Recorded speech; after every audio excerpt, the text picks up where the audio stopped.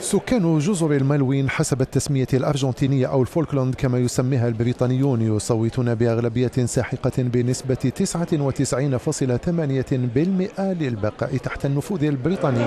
ومن بين 1672 ناخبا شارك في التصويت 92% حاكم الجزر البريطاني.